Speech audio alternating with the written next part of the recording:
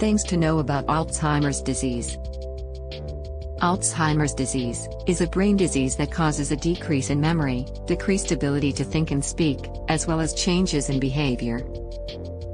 Alzheimer's disease can develop over time and affect some brain functions.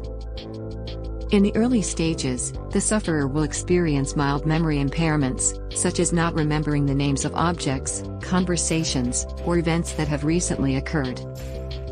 Alzheimer's disease can get worse over time. People with this condition can experience days or anxiety, as well as always being suspicious of others. Alzheimer's disease generally occurs in a person over the age of 60. But in some cases, it can also occur in those who are young. It is usually characterized by easily forgetting, such as forgetting the name of an object or place, or forgetting about the things that were just talked about with others. Alzheimer's disease occurs as a result of abnormal protein buildup, which interferes with the performance of nerve cells in the brain. In the long run, the brain will lose a variety of functions, such as controlling thoughts, memory, and language. Research also shows that Alzheimer's disease is triggered by a variety of factors, such as genetics, lifestyle, and environment. Symptoms of Alzheimer's disease can vary from sufferer to sufferer.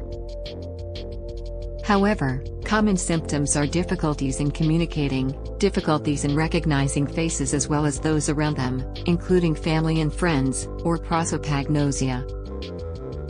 While the symptoms of Alzheimer's at a young age, that need to be watched out for, are momentary memory loss, which is different from memory loss in the elderly. People with Alzheimer's at a young age also cannot make decisions for themselves, and experiencing a change in mood swings suddenly is, like crying or laughing without cause.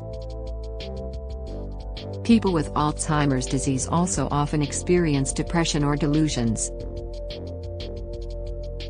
Alzheimer's Disease International, or ADI, estimates that 75% of people with dementia are not diagnosed globally, with that rate believed to rise as high as 90% in some lower and middle income countries. Until now, there is no method to cure Alzheimer's disease. However, drugs such as rivastigmine can slow down worsening of symptoms experienced by people with Alzheimer's disease. The doctor may also recommend psychotherapy, among other things cognitive stimulation therapy.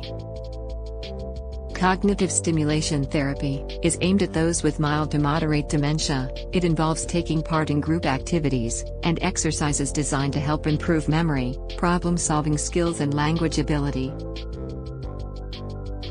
Since the cause is not yet known, Alzheimer's disease is difficult to prevent.